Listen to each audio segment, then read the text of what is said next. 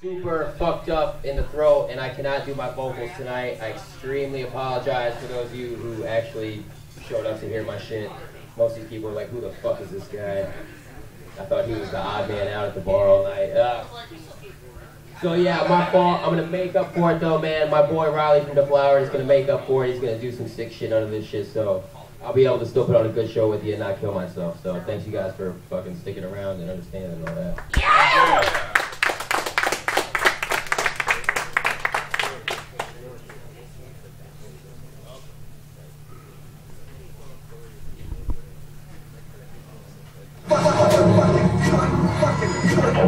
Country home was found by police early this morning deep within the confines of the cornfields in central Illinois. The property was found to be littered with the bodies of numerous young missing girls from around the area.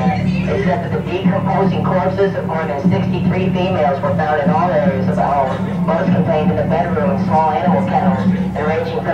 of 49 all the way to 7. All the victims were viciously raped before and after their eventual death. The owner of the home was found in the basement in a near schizophrenic state, smoking marijuana and methamphetamine and masturbating to a pile of sore female underwear. When questioned by police, he responded only by saying, quote, I fucked every cunt alive before I fucked them dead. And I must say, they were all better dead.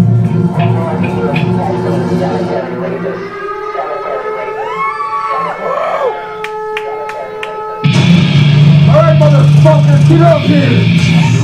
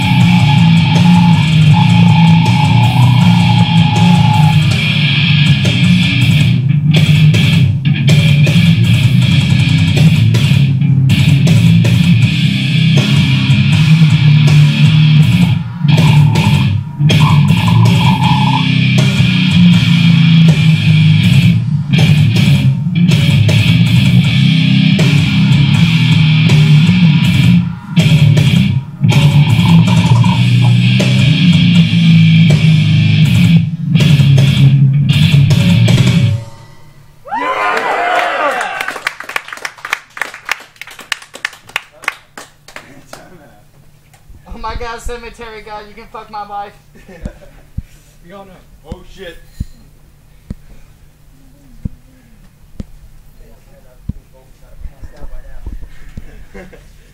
Guess y'all did.